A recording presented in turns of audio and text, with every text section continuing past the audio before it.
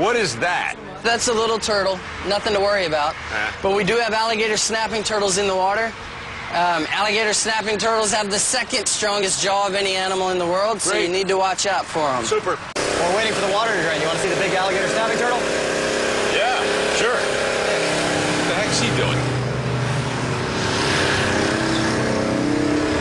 Watch that guy.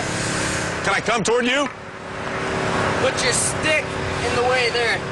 What am I doing? We're surrounded by alligators. There you go.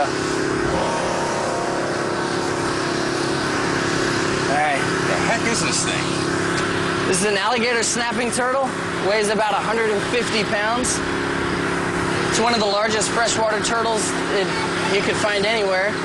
Um, they have the second strongest jaw pressure bite of any animal in the world at 1,500 pounds per square inch. But you'll see, this guy opens his mouth. See that little lure on the bottom of his mouth? Looks like a little worm. Yeah.